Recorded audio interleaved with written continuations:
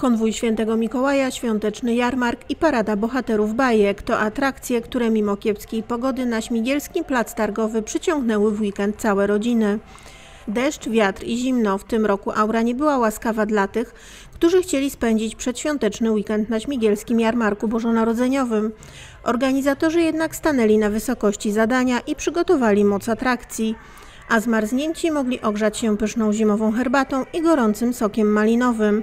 Stoiska uginały się pod ciężarem pachnących pierników, wędzonych szynek i kiełbas oraz przeróżnych ozdób świątecznych.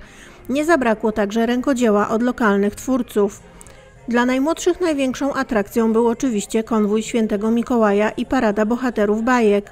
Dzieciaki miały okazję oko w oko spotkać się z Elzą i Olafem, Arielką, Dzwoneczkiem, piękną Bellą i Bestią, Śnieżką i jej złą macochą, Piotrusiem Panem i Kapitanem Hakiem, bohaterami z Toy Story, Donaldem, Daisy, Kotem w butach, Kopciuszkiem i Wróżką Chrzestną, Alladynem, Jasmin, Minionkiem i wesołą paczką z Madagaskaru, w której prym wiódł oczywiście nie kto inny jak król Julian.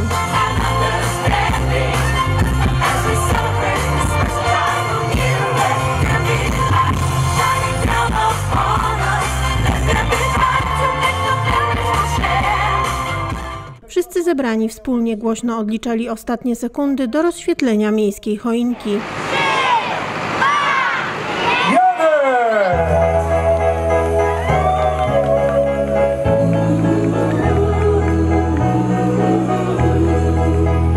Gdy śnieg padł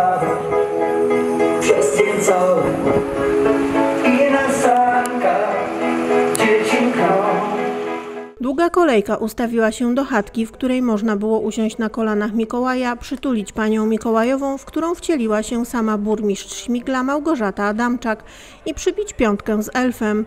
Każde dziecko oprócz pamiątkowego zdjęcia dostawało świąteczną kartkę opatrzoną pieczęcią konwoju Świętego Mikołaja.